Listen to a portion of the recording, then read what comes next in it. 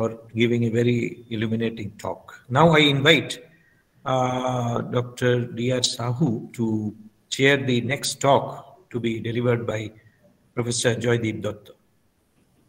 Over to Dr. Professor Sahu. Thank you, Professor Som. It is my pleasure to in, introduce uh, Professor Dutta. He is professor in IIT Kanpur. He received his PhD degree from IIT Kharagpur. His broad area of research is optimization theory. He has over 60 research papers, in various reputed international journals. He is author of three important books in optimization theory. First one is Principles of Optimization Theory. Hmm. Second one is Optimality Conditions in Convex Optimization. Third one is Vector Optimization, a view through variational analysis. Now, I invite Professor Dutta to deliver his talk on KKT conditions for optimization problems. Professor Dutta. Uh, good morning, Shahuri. Good morning. Uh, good morning. You after a long time? And I would like to tell the audience that we had a delightful trip of Taiwan. Yeah, yeah. Uh, with you. Uh, and I wish all of the young students, uh, especially the researchers, uh, happy National Mathematics Day. you should, everybody should really read the book, The Man Who Knew Infinity by Robert Kanigel to know more about the amazing life of Srinivasa Ramanujan. And uh, today I would be uh, doing, I, I have written the slides by hand. very sorry, I had to give too many conference talks actually. Uh, so I hope my handwriting is legible because I tried to make it. So I had uh, various names for this, and if uh, Professor Som said that there will be a volume on this, so I might submit what I wrote. I think just I'll share.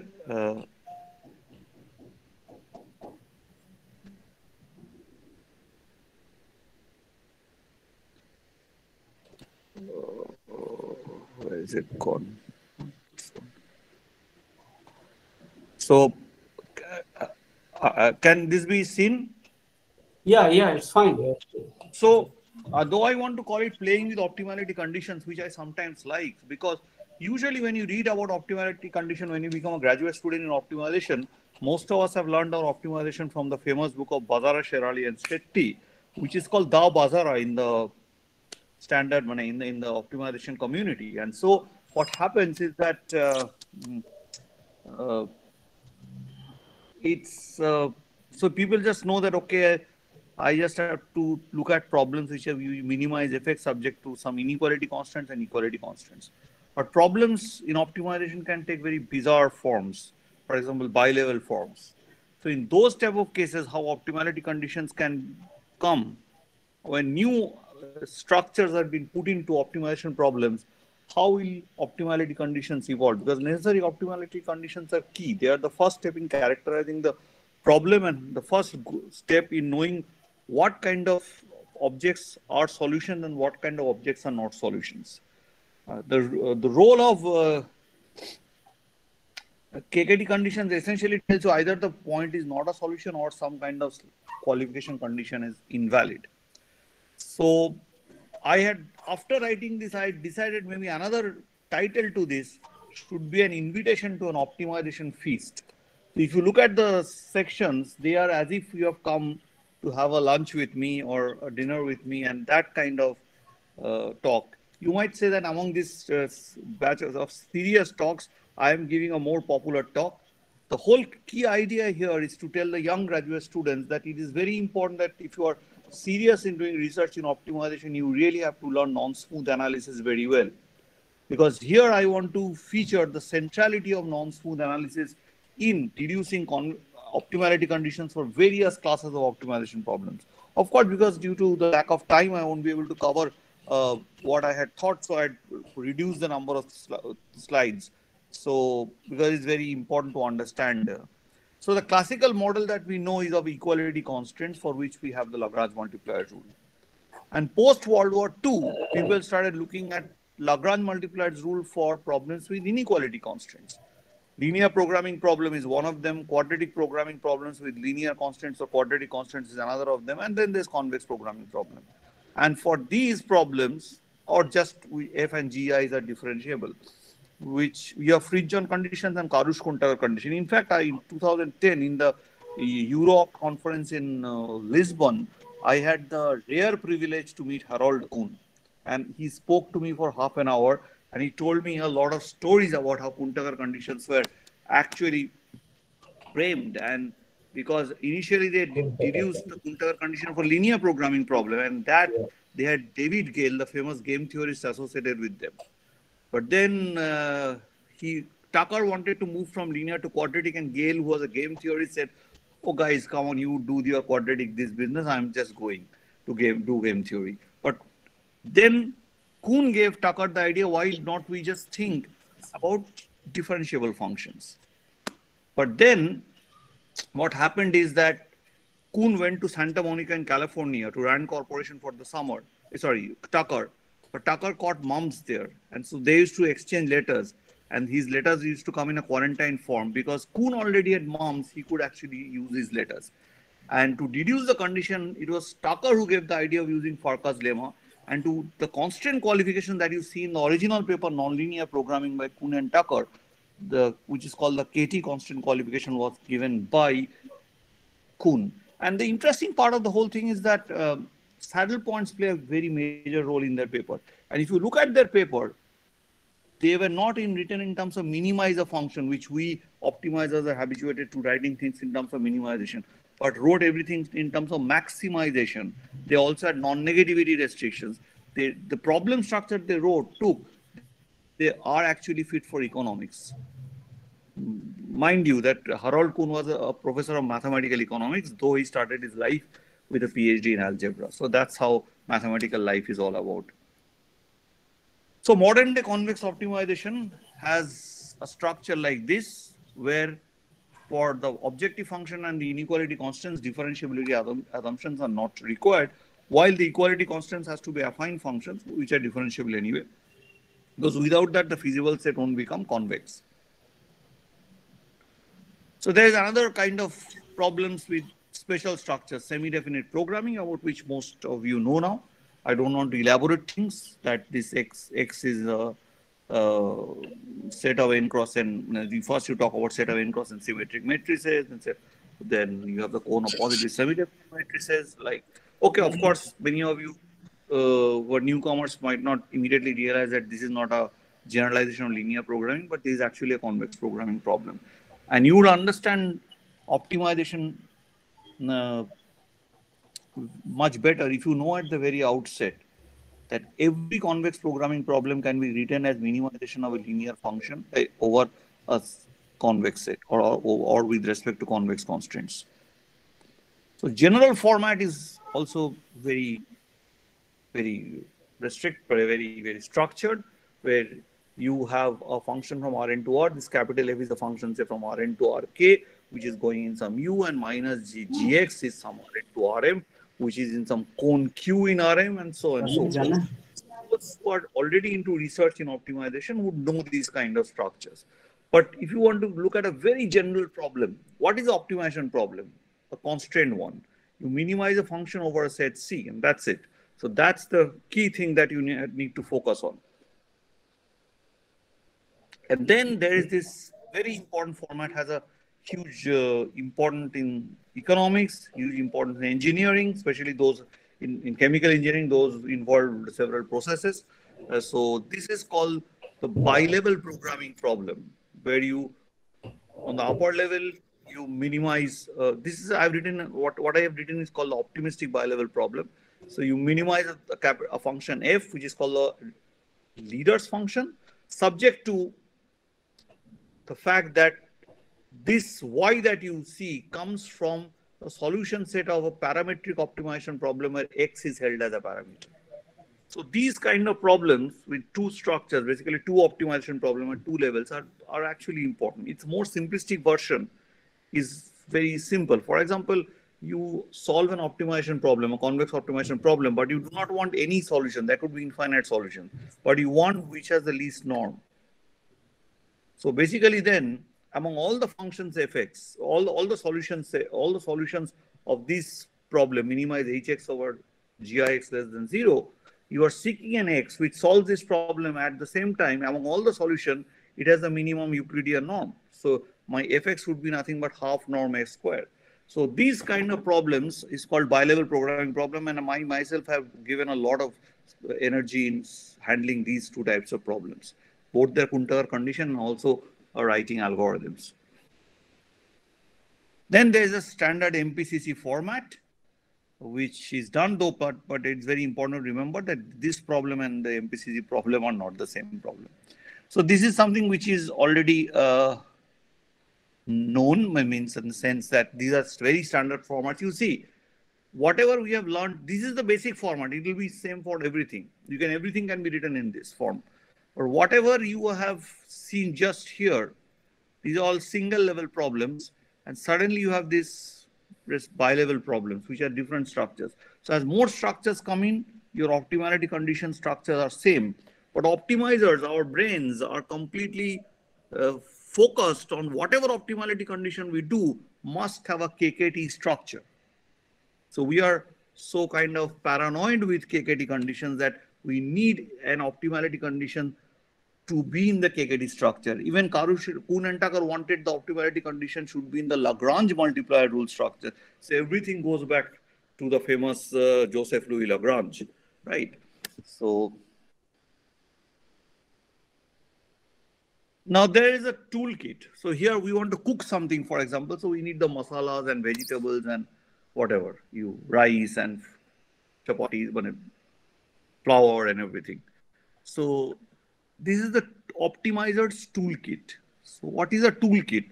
Please forgive me for using the word toolkit. Toolkit is a normal word. Don't don't take any political connotations of it, because I, I have been. Uh, I'm sorry to say that, but I need to tell to my compatriots uh, in science, in, in, mathematics, that in one talk I was brutally trolled actually.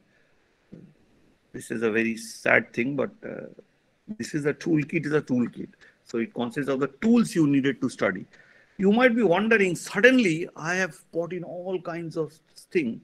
So one hand you have differentiable functions, other hand you have convex functions which are not differentiable, or which the derivative is replaced by this set valued tool called the subdifferential.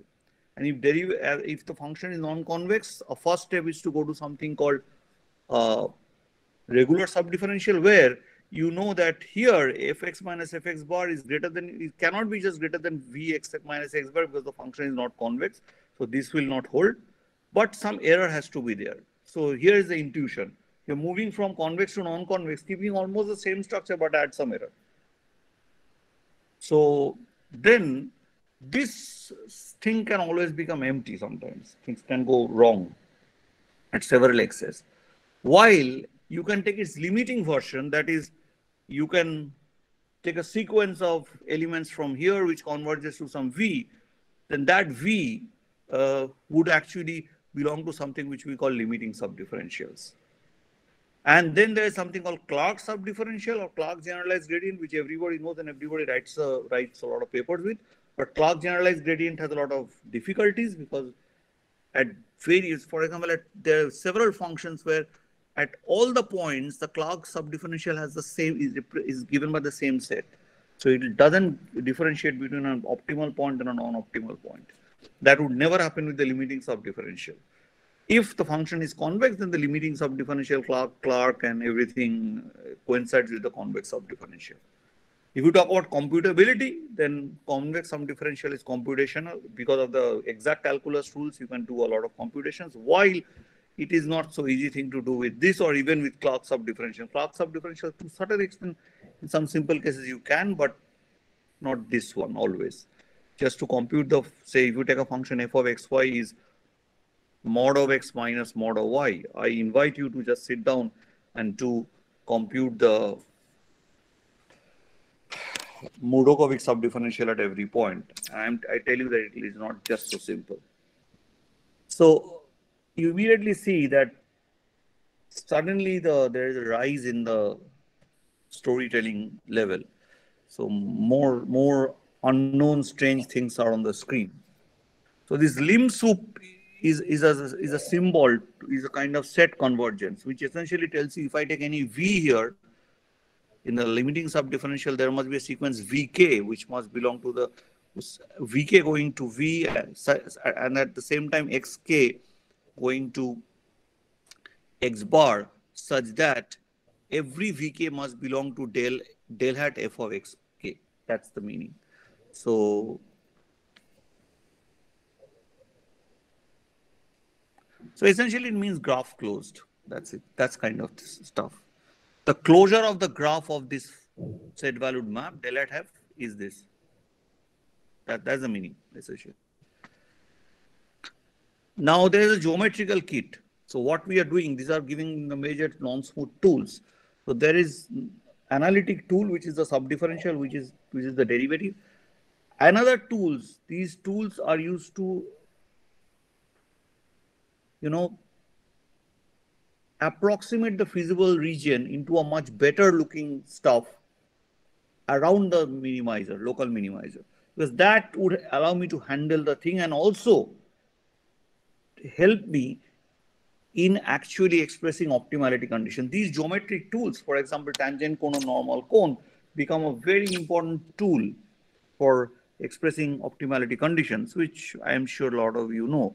So here there is a standard tangent cone, the normal cone for convex set, the regular normal cone where you see instead of zero here, once convexity of C is stripped off, we have some errors here. But again, this is not a very stable kind of set. It can reduce to just being the trivial zero. So we just have again the limiting procedure to get what is called a limiting normal cone. Some people call it Mordukhovich normal cone, and but there is a lot of uh, controversy among optimizers whether it should be called Mordukhovich normal cone or not. Though I am a very good friend of Boris and one's co-author, but maybe I would um, I would love to call it Mordukhovich normal cone, but there there are several people who says no nothing doing, just call it limiting normal cone. So there are a lot of issues that that all always happens in science, and you do not know what are the inner issues. Uh, okay. So the calculus rules, calculus rules is just because your um, subgradients, subdifferentials are imitating derivatives when derivative is actually absent. They are playing the role of derivatives. Uh, so it's some kind of a, you can say, proxy for derivatives at a non-differentiable point. So how does this proxy fellows behave? Do they maintain some kind of semblance with the derivative? And that's one of those, that is why we call the calculus. So it's non-smooth calculus. So what we learn in our standard calculus classes is smooth calculus, but now we talk about non-smooth calculus. There are several books which uh, deals with it very well. For convex, I would re refer to Hiriart book, excellent, Hiriart and Lemaréchal, Convex Analysis and Minimization Algorithms, Volume 1 and 2. And if not, uh, you can just take Fundamentals of Convex Analysis by these two authors. Be, after that, you can also think of uh, uh, looking at several books by Clarke and some books by Penot and also by two major massive volumes by Boris Mordukhovich himself. And then uh, along with this, this is a very, very crucial role. This, this, this, this is a qualification condition. This kind of qualification condition appears even in economics. When you're talking about economic equilibrium, these kind of conditions come in. These are qualification conditions. This is exactly the qualification condition. This is a, I mean, if you have thought of it, আপনার টকটা তো খুব সুন্দর হলো আপনি কি দুর্গাপুরে নাকি এখানে হ্যালো প্রফেসর সর প্লিজ মিউট ইওর মাইক ও কালকে ফিরেছেন ও তাহলে তো হেক্টিক শিডিউল হয়ে গেল কালকে ফিরে আবার আজকে টক তাহলে প্রচন্ড হেক্টিক শিডিউল প্রফেসর সম please unmute your mic hello so uh, now this condition where you have, you have two non-empty sets closed sets. Okay. And then if you have this qualification condition true, that this intersection, the minus of this is zero, that is a limiting normal cone of C1 intersection of the limiting normal cone of C2 at X, they have only the trivial element zero, which is the common element, of course. Then this calculus, this rule holds. So this can be viewed from the rule of the sum rule. But if you look at it very carefully, this is actually a kind of Mangasarian Fromovitz constant qualification.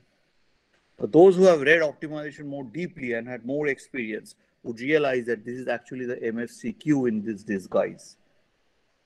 So, though we don't celebrate him nowadays, Olvi Mangasarian's contribution to optimization and especially to the theory of optimality, necessary and sufficient optimality conditions is far reaching actually. Because without that, many, many things which we want to have, want, want actually to progress with cannot take place.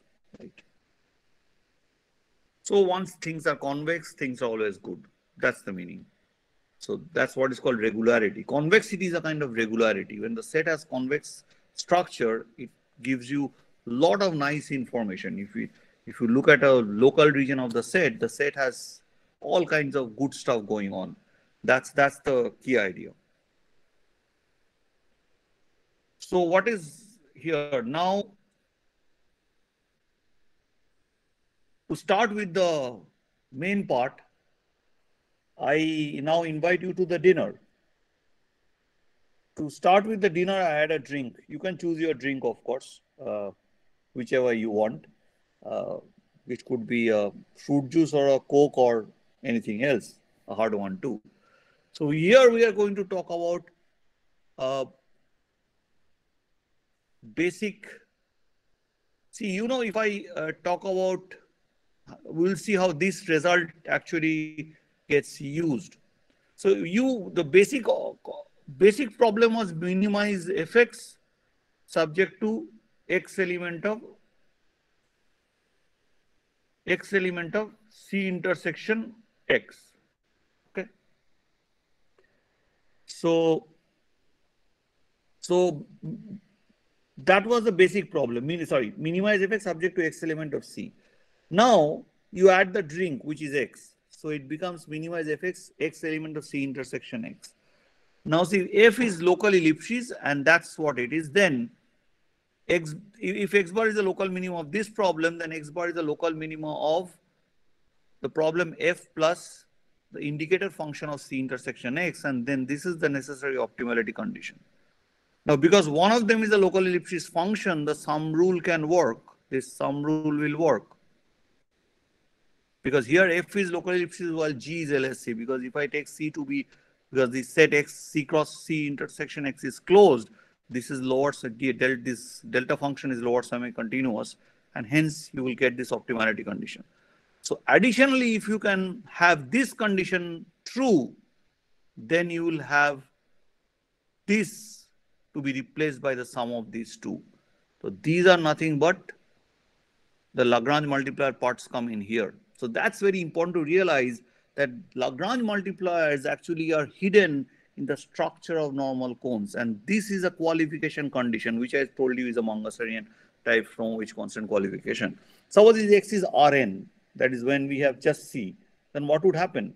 If x is Rn, then uh, I would simply have this to be 0. So at any point on the open set, the normal cone is the 0 vector. So then it will give me the standard result, right? So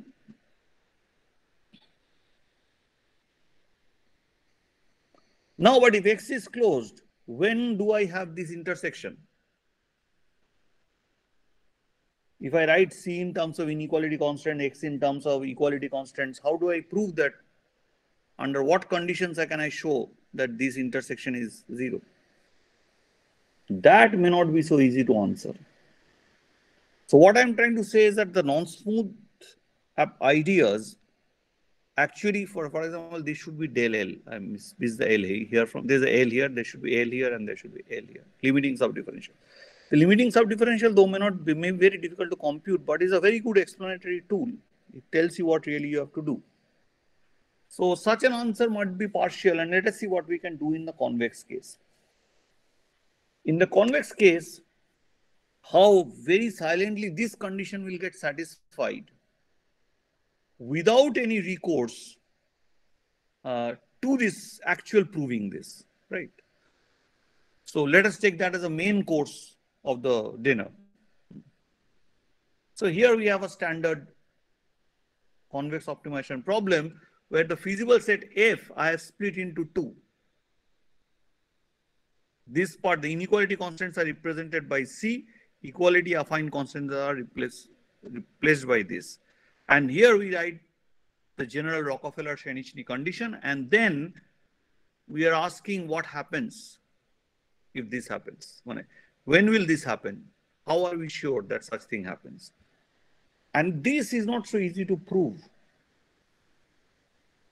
If I just say, okay, let uh, there be an X element, there's an X which satisfies this as well as satisfies the Slater type condition here, that is GI X statistically less than zero, then I can prove this to be true. Well, that will happen, but it is not so directly simple. It's not so, it, it, you cannot say it in one run that, okay, okay, immediately it's clear that this will happen. For that, you need to know the structure of the normal cone in terms of those GIs and in terms of the HIs. They would happen actually, they would happen. And, uh, but it's again a difficult job to know the structure of these conditions, structure of these. So that's the question I want to ask is the, I want to ask the students where they can figure out is the Slater condition same as this? And I, and I, and this is not so simple to prove if you just want to go for a direct proof of this.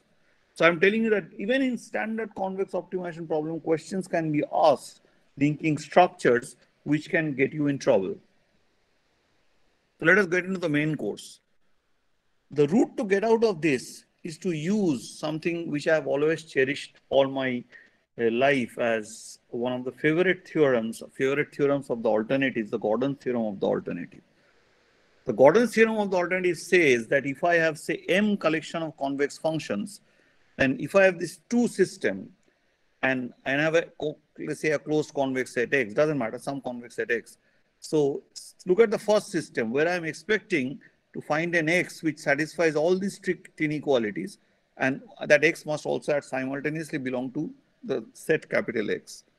If this system has a solution, then the second one will not have a solution and vice versa. In the second one, I am looking for lambda i's such that all of them are not greater than equal to 0, but uh, all of them are not equal to 0, but each of them are greater than equal to 0, such that summation lambda i fi x is greater than equal to 0 for every x.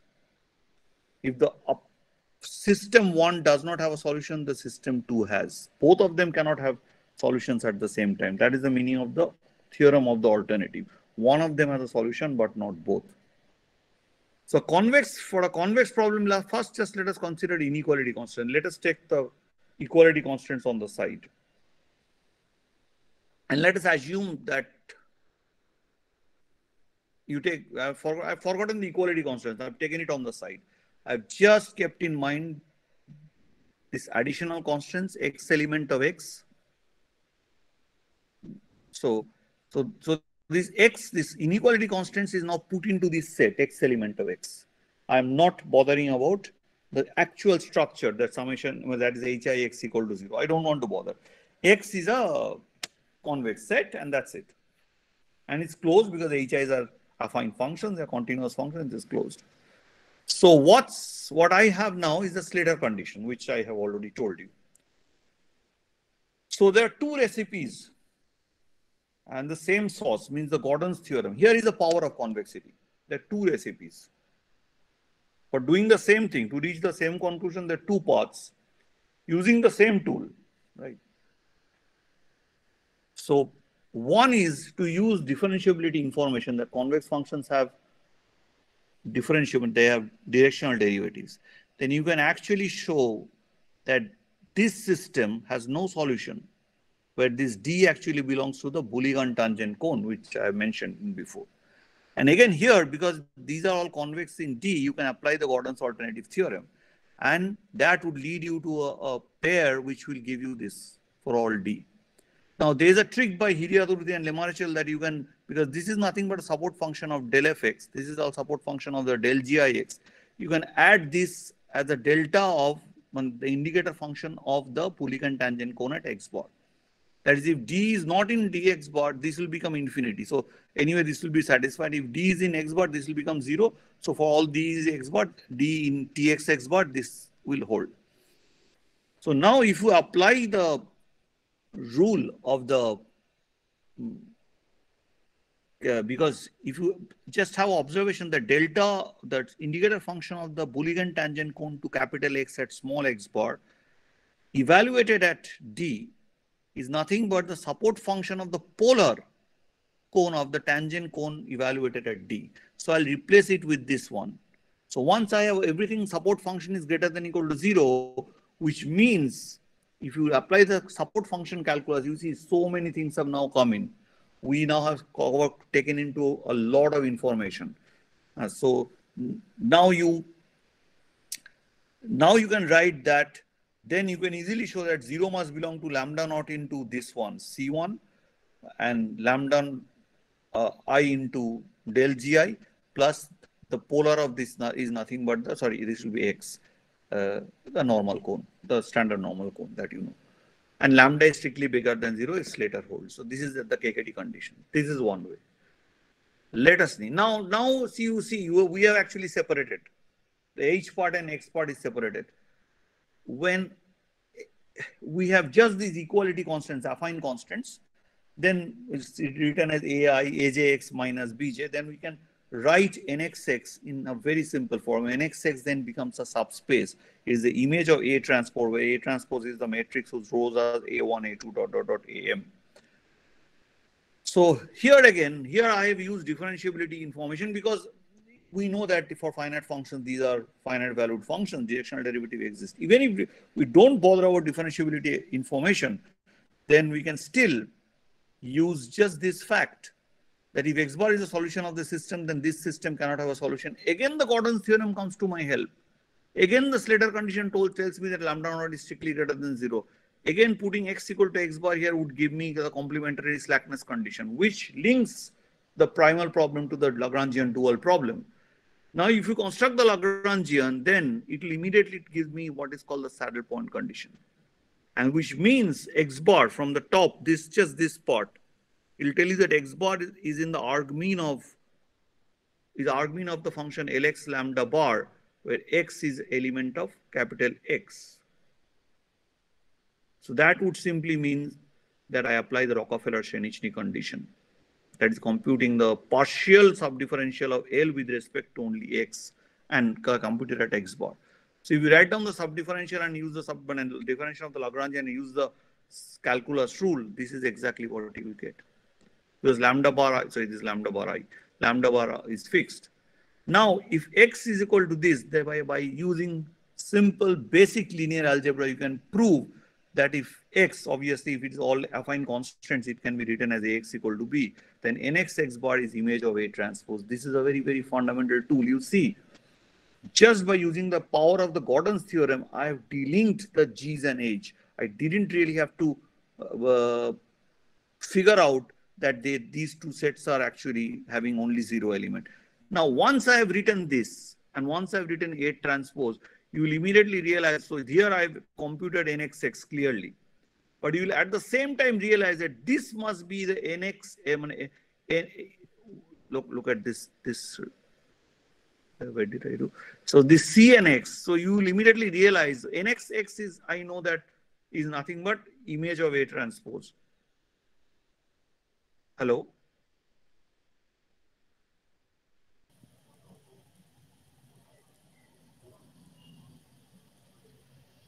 Hello. Somebody hello. Professor Som somebody showing his slide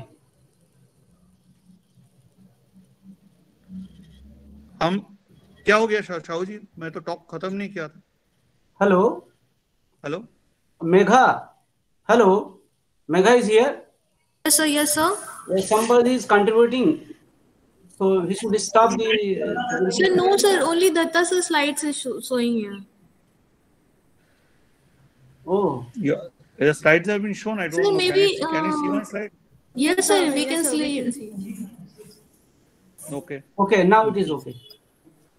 okay Okay. So you see now once because you know that the image of A transpose is the normal cone to this at any x, then you at any given x bar when Slater condition holds, you can immediately take an intuitive leap in the imagination and say that the normal cone to C at x bar once Slater condition holds consists of elements of this form.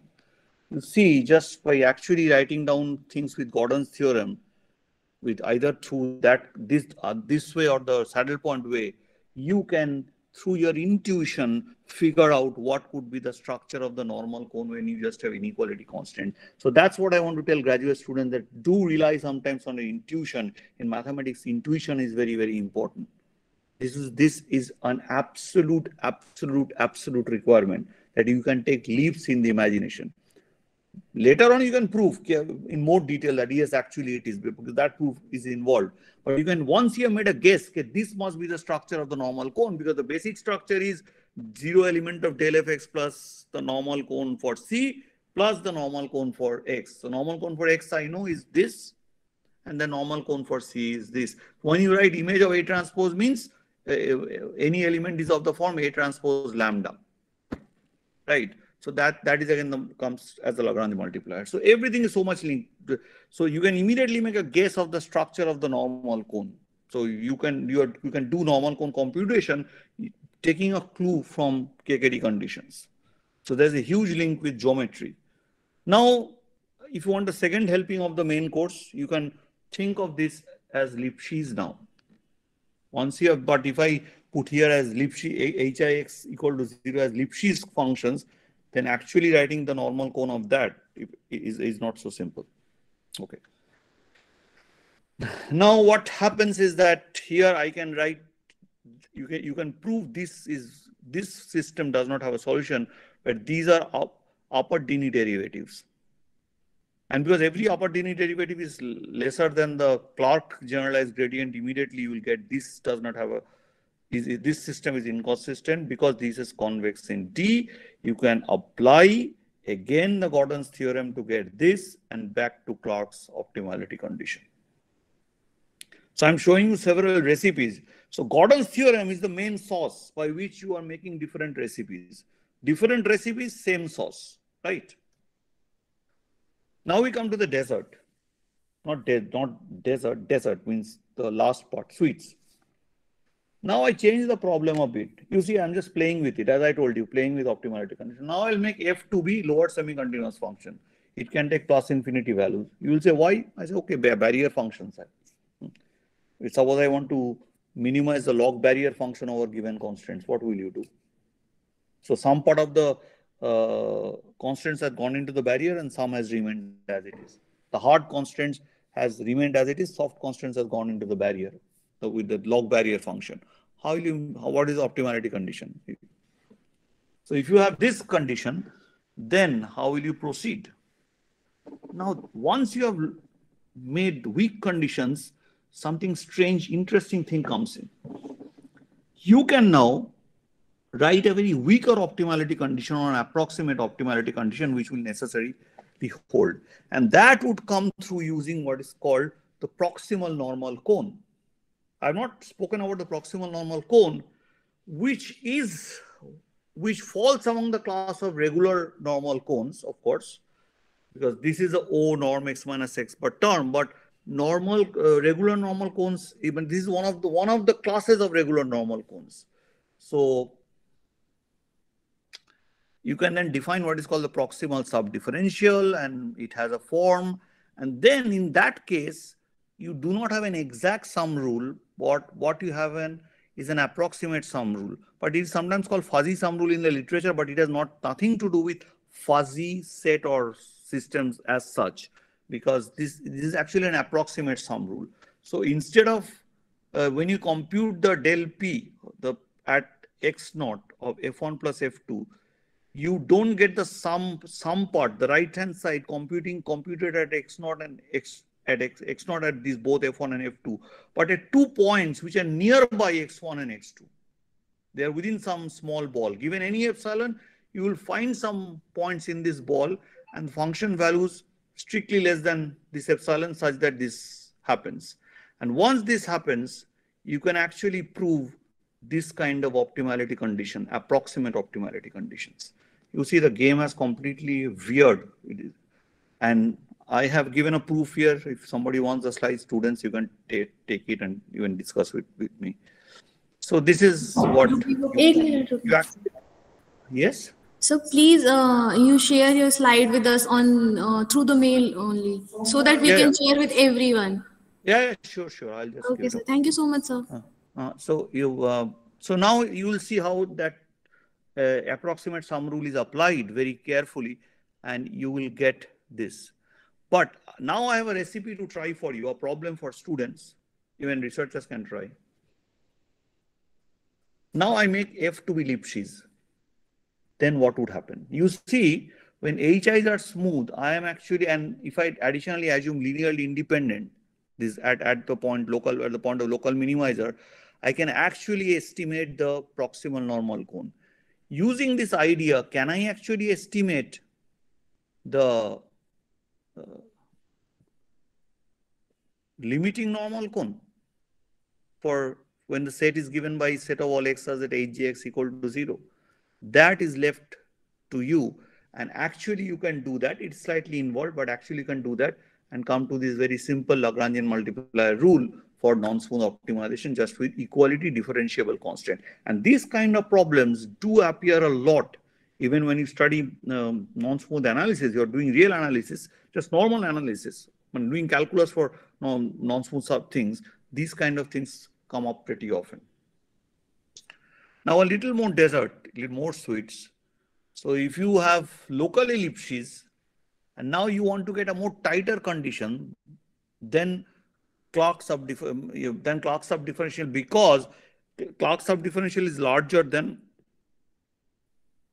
the Mordukhovich sub differential or limiting sub differential, and Clarke sub differential may not always uh, tell you uh, when differentiate between different points. It can have at every point it can have the same stuff, right?